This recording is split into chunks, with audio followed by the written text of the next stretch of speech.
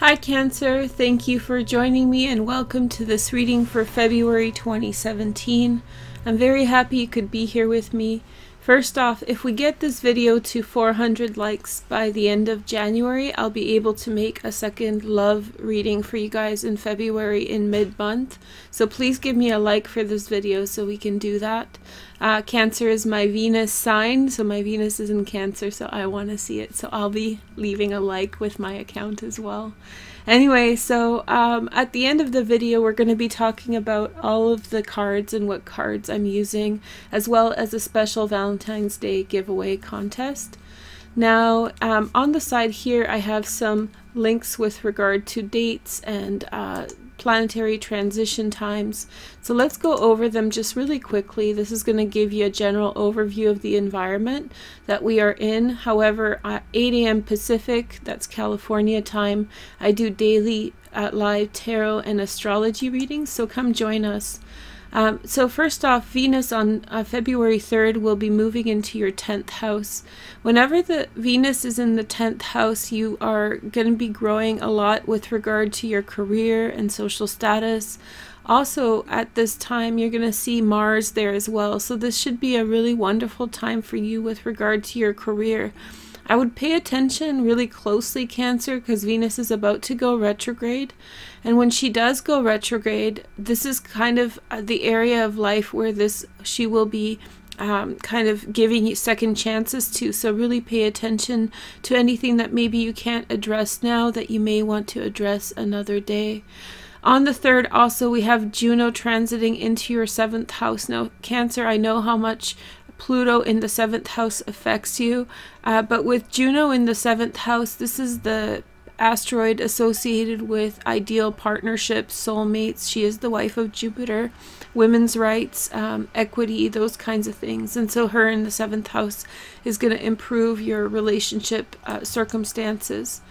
On the 4th of February, just the following day, uh, Ceres, the goddess of nourishment, moves into the 11th house. Friends will reciprocate in really good and abundant energy. If you take a look at the asteroids, there's a lot of trines over us. So, when considering the asteroids, the entire month of February is actually covered in grand trines. Grand trines are harmonious energy that's working in different elements, and so you can be looking forward to uh, enjoying that this this month. On the 6th, we have Jupiter retrograde. Now, this happens every year. It lasts for about four months. And so, what you're seeing is uh, Jupiter retrograde in your fourth house of family and home. This is going to give you a second chance at rehashing things with family members and home type of issues. We'll be talking about that more when uh, it does go retrograde on the 6th. Now, uh, the retrograde, by the way, will last until the 9th of June, so it's a four month period. On the 7th, uh, we see Mercury moving into uh, an area of your life that is associated with change. Uh, it's the eighth house, and then also it has a huge correlation with sex. Mercury you know, sexually communicative time for you. The sun is here as well. Um, you could be also uh, communicating a lot with other people with regard to their money. So, this is an important transit as well. On the 10th, we have a full moon and it's with an eclipse. This is happening in your second house. That means financial matters are either culminating or they you need to uh, eclipse them out. We'll be talking about the eclipse at 6:30 p.m. Pacific on the main channel, um, and we'll be doing an all signs reading for eclipse and full moon. That's on February 2nd, about a week before the eclipse. Again, you can see these grand trines that are really off of the asteroids like Ceres and Juno. However, they will add a very harmonious level and energy to the transit. Okay, on the 18th, the sun moves into Pisces, and this is the beginning of a really large transit that you're going to feel really comfortable in. Um, there's going to be a large stellium. A stellium is when many planets are together in one house. The sun is there on the 18th, and on the 25th, Mercury joins, and then on the 26th, we see the new moon happening here in your ninth house. The ninth house has a lot to do with philosophy, long distance travel. Here we have your uh, South Node, which is actually maybe going back to your home, going back to family to kind of rehash and work over whatever it is that you have been dealing with or any family issues that are outstanding.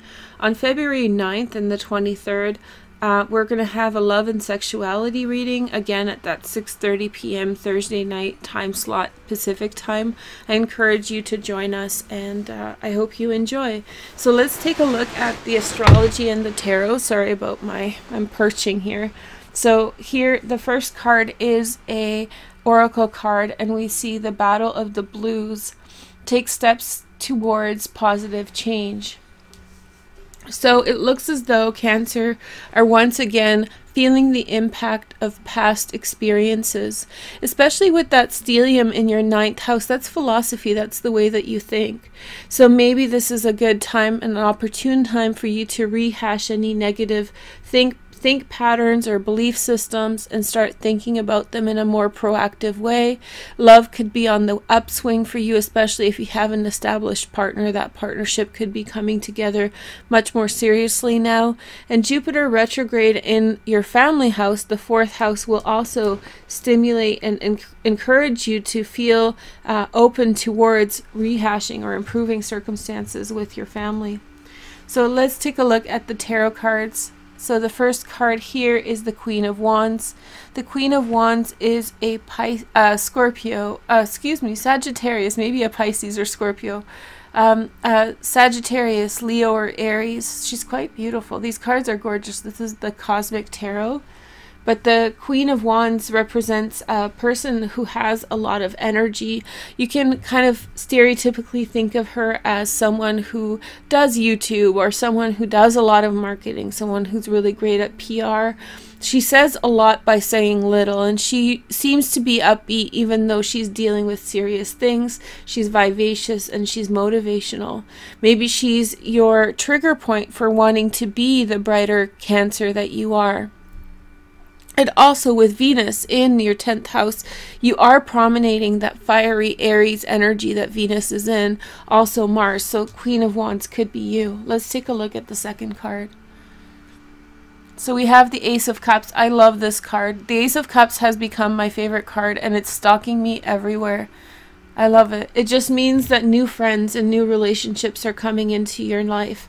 This could be a Queen of Wands relationship. I mean, if you're vibing at that level right now for the next month, the transit of Venus lasts 28 days, maybe 23 days. I get confused, but uh, the transit is super quick, right? So with it being super quick, you want to make sure that you use that energy well. And so maybe you will be drawing to you more Queen of Wands type friends and energies or a relationship possibly as well.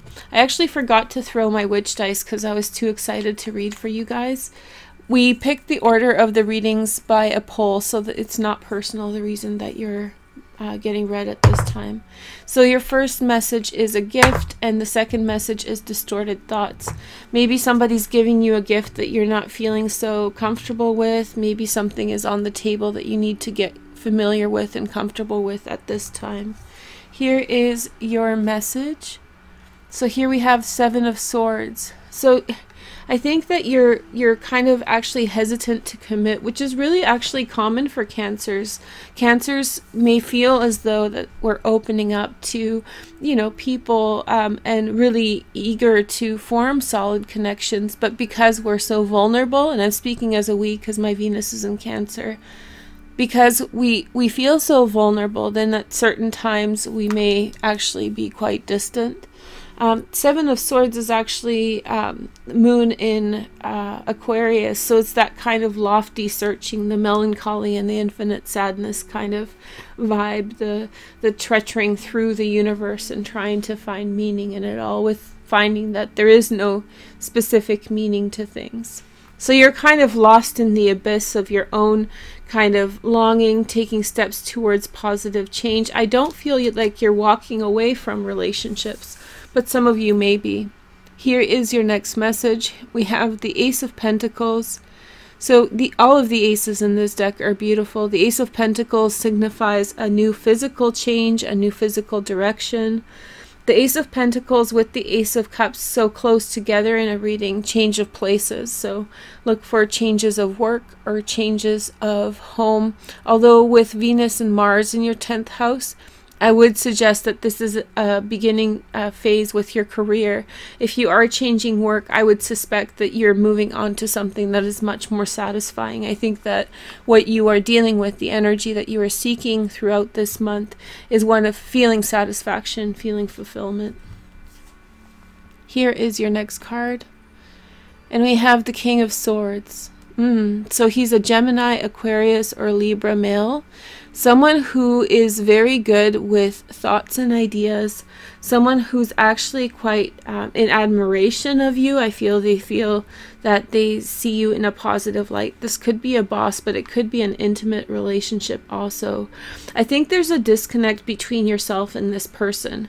When you are really within your own feelings about things and really feeling the impact of your thoughts and ideas, that there's a disconnect in drawing that boundary between yourself and someone else.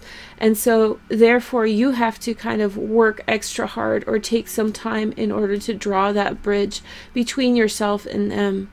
Um, I feel as though this person understands that you are having feelings and emotions. However, I think that that's an area of life that they don't feel confident in, or maybe they don't know how to manage appropriately, so they kind of draw back. So if you're feeling a dis- distance between yourself and your partner, that might be the problem. Uh, or the reason why. That doesn't mean that they're leaving, it just means that they don't have anything to say. You know what they say if you don't have anything nice to say, don't say anything at all. Speaking of the devil, so this is a Capricorn card. So if you have a Capricorn in your life that's resonating, then that's it. What's going on in Capricorn? Well, we have that Juno transit right there.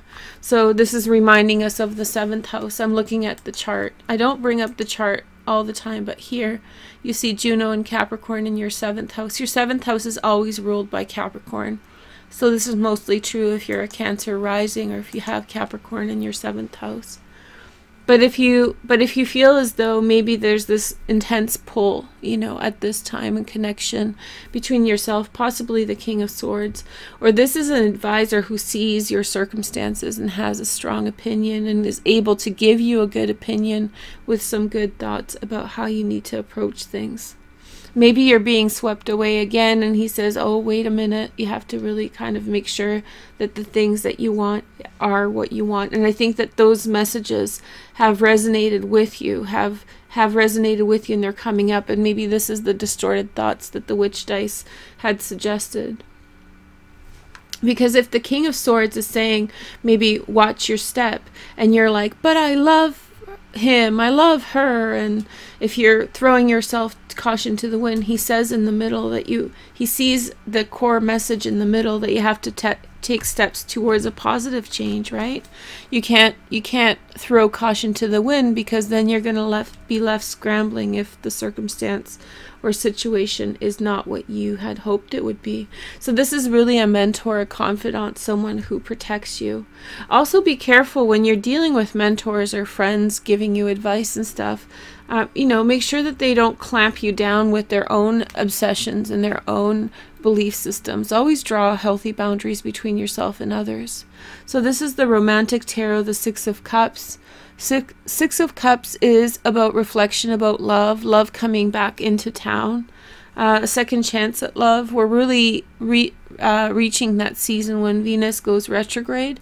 She will give opportunity for second bouts at love, although oftentimes that has to do with more karmic relationships that need to be resolved. But with the Six of Cups, maybe you are feeling some kind of pull and emotional connection. Particularly if you're a Cancer male, you're really attracted to the Queen of Wands and you're feeling really kind of maybe impacted. If you're the Queen of Wands, then maybe you are the one who's feeling all these emotions. We'll see here with the corner pillar cards to see what the messages are. Here is your next card. So we have the Page of Discs, and funny enough, this card came up several times. This is also the Princess of Discs. So depending on what your age is or who you're relating with, this could be a Virgo, Taurus, or Capricorn female.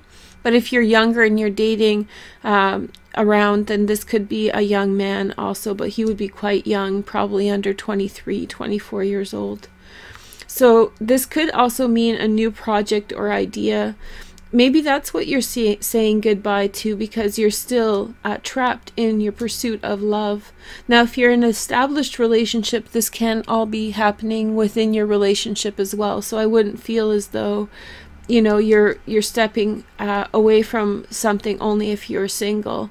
You might be you know your partner may have given you indication that love is blossoming for your partnership again and you're making decisions in your everyday life that are kind of away from certain things because you really desperately still want that love be really careful that the feelings and emotions that you are having are not motivated by these kind of wanton blues. Make sure that you are not um, making decisions in order to kind of band aid the core issue. First, address your sadness, and then uh, and then move forward towards happiness. That's the best way to do it. Um, however, this opportunity does seem quite credible. The Ace of Pentacles with the Page of Discs, something that may require that you give a little bit before and then receive in return. Now this always reminds me of Jethro Tull with with Ian Anderson on the flute. He dresses very much like this. I know he plays a caricature, but this reminds me of him as well. So this could be some type of um, some type of offer that is being given to you and um, and being offered up to you in some kind of um, way. However, this could be a solicitation in and in a funny way it'll turn around at a certain point and lead you to uh, to a prospect, lead you to success. Here is your next card. We have the Ace of Wands. And so this is a new beginning. Now when we have three aces, I know it's different decks, but we still want to consider this. This means success is coming for you very quickly now, Cancer. Three aces in the reading is probably my favorite combination, I would have to say. It just means uh, success is coming for you. I would suspect now I feel confident to tell you that February should be a really amazing month for you. It's going to be a fly fly by night. No, that's a wrong um, adage. It's going to be a very fast paced month that's going to lead you uh, to be happy through the whole month. So, in fact, uh, positive steps towards change is going to be an easy step for you to take. And I think that this is more and more starting to look like the like the attitude that you adopt this month.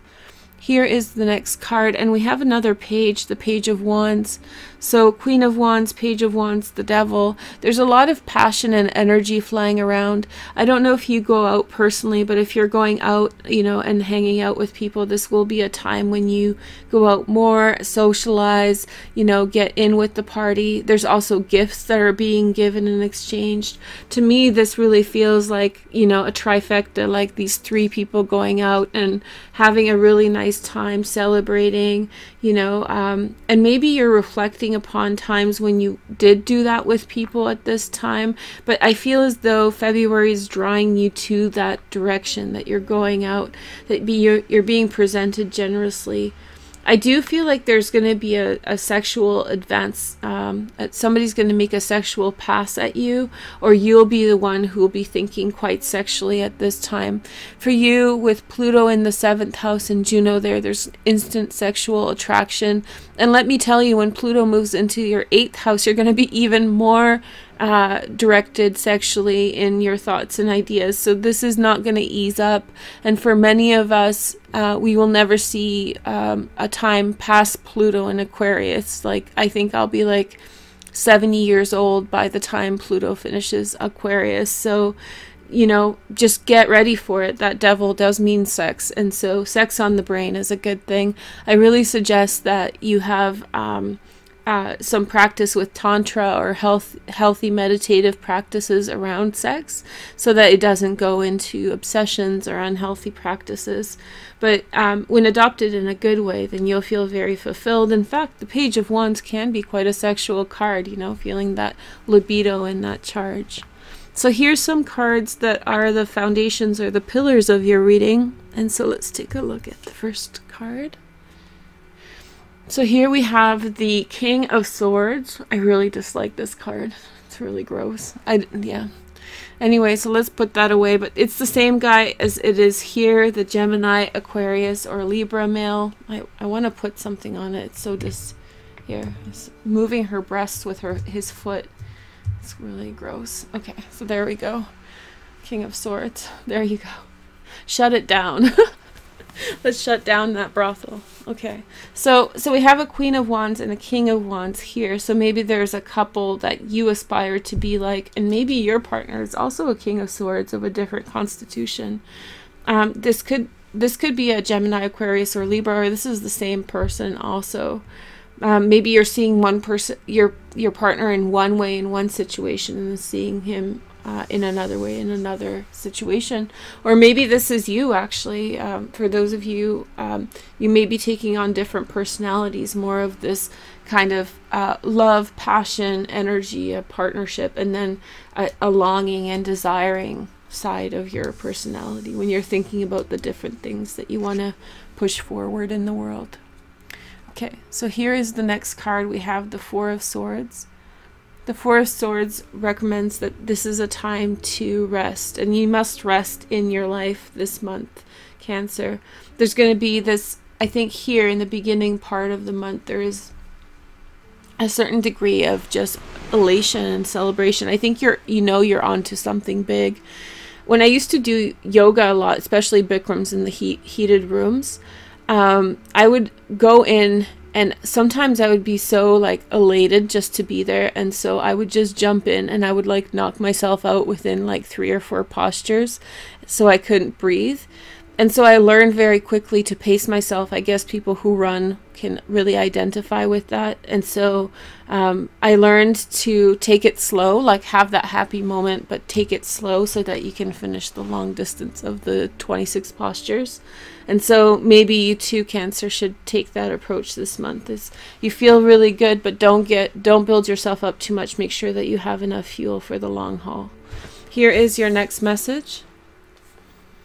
So here we have the judgment card. So I love the judgment card. So if three aces are my favorite combination, then the judgment card is probably my favorite card. The judgment card represents a choice to go back to something or someone. In fact, some of you cancers will be moving for that effect. So you know what I said about two aces before? Well, these two aces, regardless of this one, can signify that you're moving back into a situation or circumstance. If you are, just really make sure that the dynamics are balanced and again that you're not stepping into someone imbalanced family relationship, okay? So make sure that you hold your own power going through the situation. Here is your next card and the last card for the reading.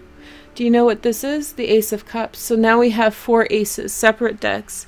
I mean, four aces is supreme success, but we have two aces, two new relationships, two opportunities, just abundance flowing to you in every which way direction, taking steps in many directions towards positive change. When you take steps towards positive change, it's always a good idea to decentralize and then find whatever sticks. Whatever sticks, you stick to it, and then whatever falls away, falls away as well, especially in the career. So we're talking about a lot about love and relationships, lots of different positive ideas with the stellium in the ninth house, but also in career.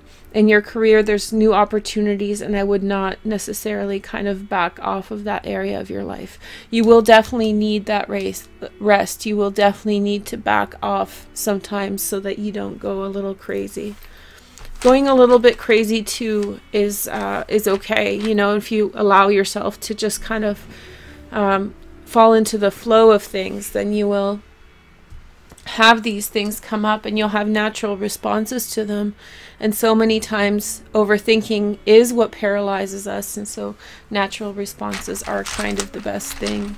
Here are some tokens.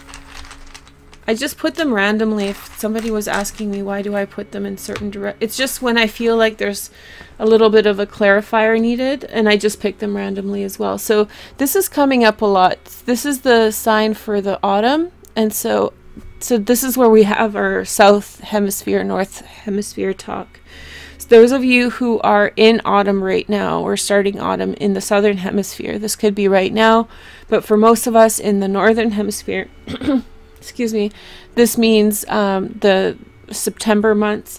This means that there's a whole pattern that's initiating with the eclipses, and so you're initiating in a new direction, and that's going to lead to something, even as far as um, next winter when uh, Capricorn is uh, ruling again. So that will be, we just finished Capricorn, so December to January. So maybe one relationship leads to another and then another, and then you have a series of experiences. Maybe this is considering a breakup. Maybe this is considering an immediate breakup to to lead you towards, but I don't think it's going to be a breakup that has to do with like drama or terrible things. I think that you have something in mind and you're like, okay, now it's time for me to go because I've been there. I've been sad and I'm not going to be sad again. So here we have Sagittarius. Sagittarius people will allow you to open up your consciousness, open up your mind, and really think about the possibilities in your life. And here is the oh we this has been coming up a lot. Everybody's getting love, love, love.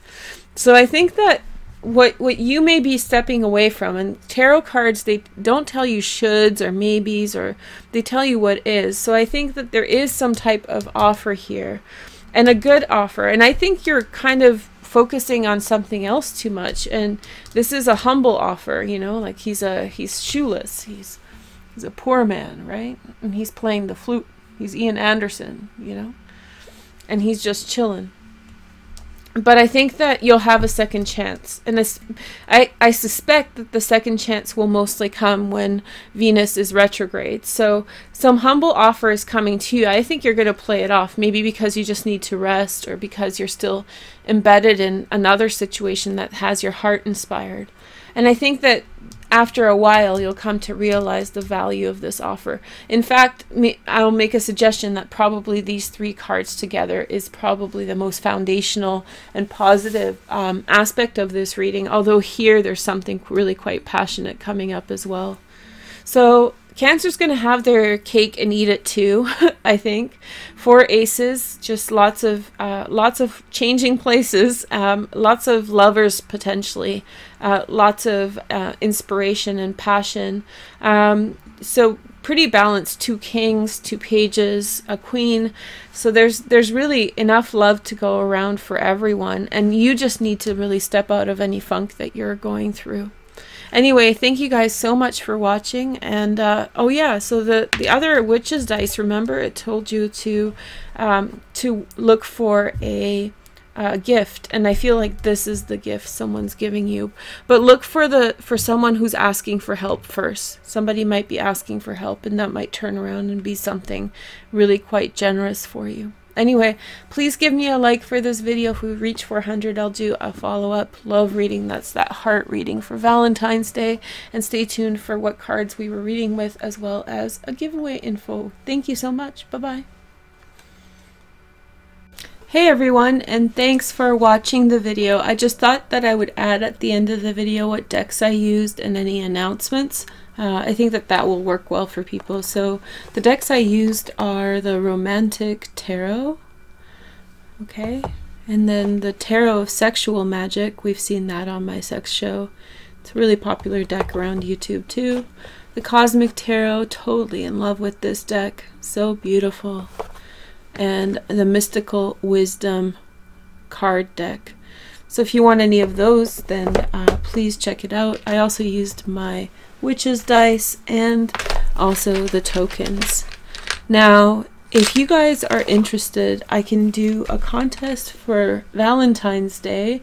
And so if you guys would like, then I can uh, give you guys a little kit sent to your home uh, to promote love and I'll make the kit myself and it'll have a whole bunch of goodies probably a twin crystal. I know a lot of people were really wanting a twin crystal maybe a spirit doll make a spirit doll for love. So whatever kind of mix I can ship anywhere in North America for free. If you live outside of North America and want to participate then you can simply pay for the difference in the for the difference of the cost of the uh, shipping. So I'll be happy to do that.